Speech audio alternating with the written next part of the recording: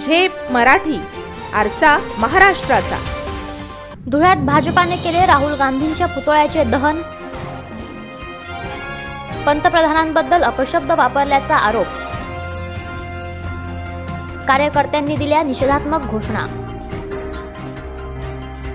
पंतप्रधान नरेंद्र मोदी यांच्या जातीवर प्रश्न निर्माण करून काँग्रेस नेते राहुल गांधी यांनी नवीन वाद ओढवून घेतलाय.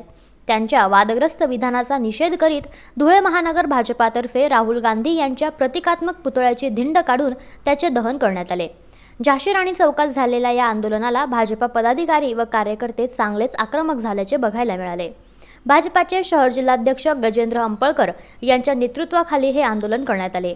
यावेळी कार्यकर्त्यांनी मुर्दाबादच्या घोषणा देतानाच भारत माता की जयचा नाराही दिला.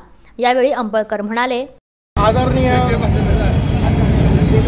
देशाचेच नव्हे तर संपूर्ण जगाचे ज्यांच्याकडे ज्यांच्या नेतृत्वावर विश्वास आहे असे आदरणीय मोदी साहेबांबद्दल जातीवाचक बोलून या पप्पूने जो मोदी साहेबांचा अपमान केलेला आहे त्याबद्दल आम्ही धुळे भारतीय जनता पार्टीच्या वतीने त्यांचा जाहीर निषेध करतो.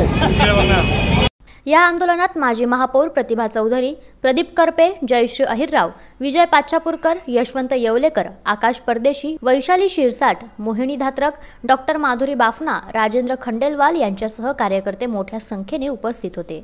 प्रतिनिधी कार्तिक सोनवणे झेप मराठी धुळे. अशाच वेगळ्या आणि ताज्या बातम्यांसाठी पाहत रहा झेप मराठी आरसा महाराष्ट्राचा. संपादक प्राध्यापक अनिल चव्हाण धुळे.